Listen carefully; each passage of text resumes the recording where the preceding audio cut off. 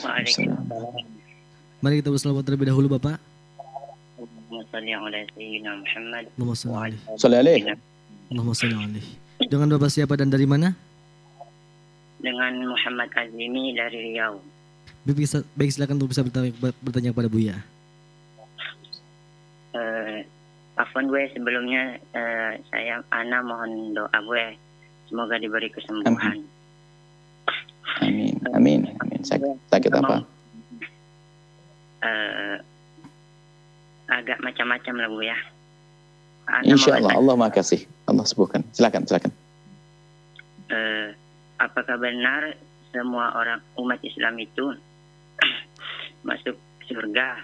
T- tapi bagaimana dengan eh, hadis eh, kalau memang ada ya Bu ya itu tentang tidak masuk surga itu dayus kemudian yang ada kesombongan di dalam hatinya. Begitu Bu ya, syukran. Baik. Ad-dayuth fi qa'ri jahannam. Dayuth akan berada di dasar neraka jahannam. Kemudian orang sombong la yadkhul jannata man kana fi qalbi mithqal dzarratin uh, minal kibri.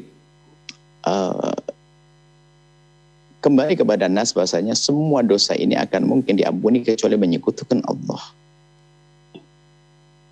Adapun dosa dayuth dianggap dosa gede, kibir dosa gede, sombong dosa gede. Akan tapi yang harus dipahami bukan berarti selama-lamanya. Tidak akan masuk surga selagi dosanya dayatah itu belum dihapus, selagi dosanya kesombongan belum dihapus. Makanya akan disiksa dulu kalau sudah habis dosanya sombong tadi nanti masuk surga. Tapi jangan ngentengin lah. Tapi nggak boleh ngen, nda- harus waspada karena kesombongan itu adalah mukaddimah untuk sombong kepada Allah maka keluar dari iman di neraka selamanya. Dan yang menjadikan hancurnya iblis adalah aba wastakbaro. Sombong. Nah, ini harus waspada sombong. Jangan ngentengin kesombongan. Jadi jangan ngentengin bahaya sekali. Adapun selagi masih ada iman yang sesungguhnya, ya siapa kita semuanya punya punya kesalahan-kesalahan dosa-dosa penyakit hati itu. Maka tugas kita tuh membersihkannya. Kita membersihkan penyakit hati berusaha. Kalau sudah berusaha belum tuntas Allah Maha tahu akan diampuni oleh Allah.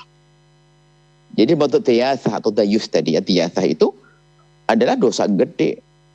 Apa sih tiyatha? Ada yang bertanya. Tiyatha itu adalah tidak pernah punya cemburu kepada keluarganya di saat melakukan keharaman. Istrinya dibonceng laki-laki, istrinya ini, anak perempuannya keluar pergi ke mana tenang-tenang saja kan. Dia bahkan dibawa orang pun dia dayus.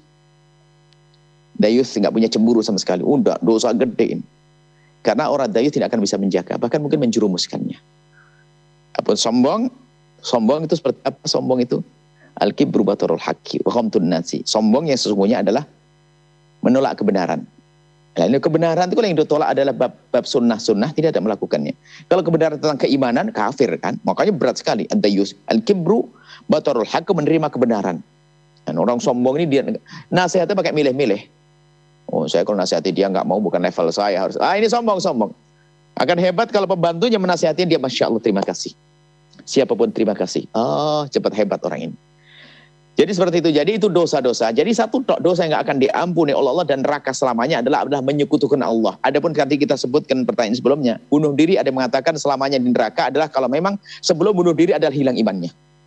Karena bunuh diri ada ciri orang itu akan hilang iman. Tapi tidak semuanya. Karena bunuh diri bukan termasuk menyekutukan Allah, maka orang bunuh diri bisa saja hmm, diampuni setelah dosa yang diampuni. Akan tapi ingat, semua dosa jangan ngentengin. Karena bisa jadi di saat kita mengentengin dosa itu adalah kita keluar dari dari iman. Bisa jadi. Jadi ngentengin jangan ngentengin dosa. Maka siapa pun yang pernah melakukan kesalahan, segera mohon ampun kepada Allah Subhanahu wa taala dan sungguh Allah Maha Pengampun. Wallahu alam bisawab. Setelah Anda menyaksikan video ini, jangan lupa berselawat kepada baginda Nabi Muhammad sallallahu alaihi wa alihi wasallam